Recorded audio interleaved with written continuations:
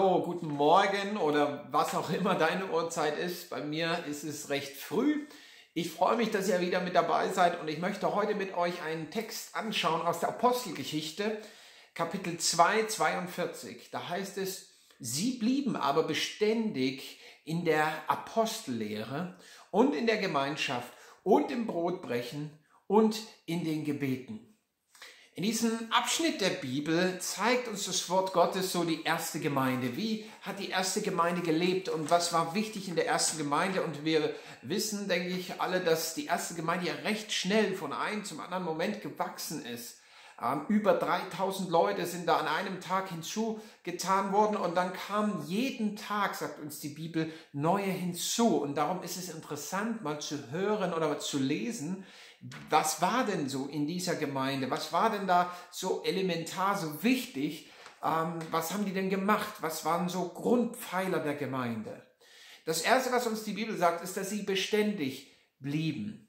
Ähm, beständig sein, dran zu bleiben, bedeutet, ich halte etwas fest, ich bewahre etwas, mir ist etwas kostbar, ich lasse mich nicht beirren.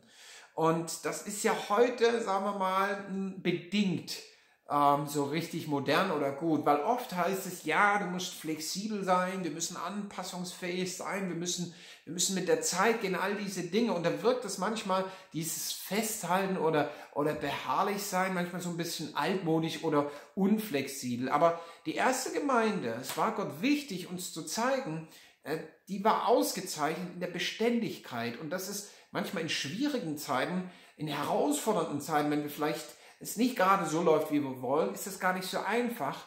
Aber Beständigkeit ist eigentlich eine zutiefst göttliche Eigenschaft, weil die Bibel sagt uns, Gott ist beständig in allen Dingen. Er ist, er hat keinen Wechsel ähm, von Meinungen. Er ist treu. Er ist, er ist, er ändert sich nicht, nur weil gerade etwas nicht so läuft, wie man sich das vorstellt.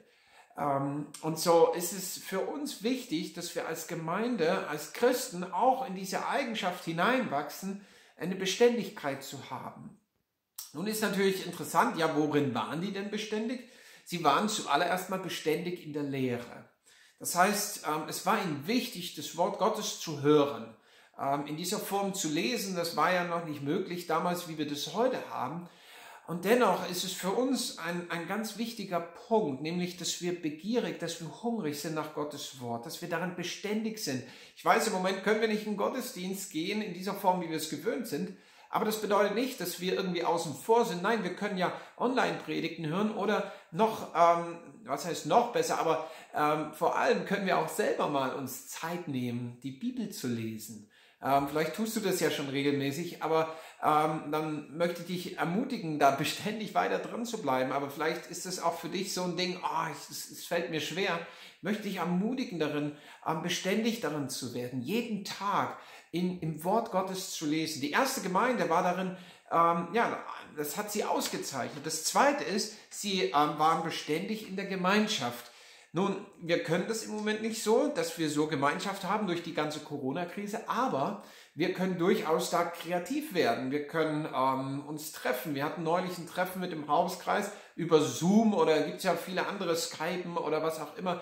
Da gibt es viele Plattformen übers Internet oder du, ähm, du schreibst jemand einfach altmodischen Brief oder du rufst jemanden an. Einfach Gemeinschaft zu haben, darin kreativ zu sein. Nur weil wir es nicht sehen können, heißt es nicht, dass wir keine Gemeinschaft haben können. Und da lasst uns doch auch die mit hineinnehmen, die vielleicht nicht so die erste Adresse werden, sondern dass man auch die ähm, anruft und die kontaktiert, die vielleicht manchmal so außen vor sind.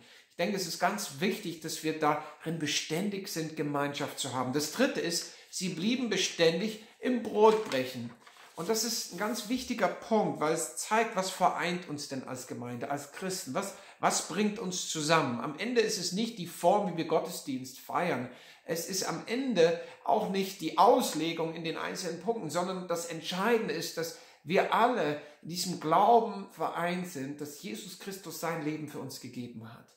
Dass er für unsere Schuld gestorben ist und dass wir durch ihn Leben haben und dass wir durch ihn eine lebendige Hoffnung haben. Und darin waren sie beständig, sie haben das gefeiert. Das bedeutet, sie haben sich das immer wieder vor Augen geführt. Und das ist so wichtig, dass wir diesen Fokus haben. Was vereint uns? Was vereint uns? Und das ist letztendlich Jesus Christus, weil er hat denselben Preis für dich bezahlt, wie er für mich bezahlt hat. Und deswegen sind wir eins. Das vierte, sie blieben beständig in den Gebeten. Und das ist auch, denke ich, so eine wichtige Information für uns. Das hat die erste Gemeinde ausgezeichnet.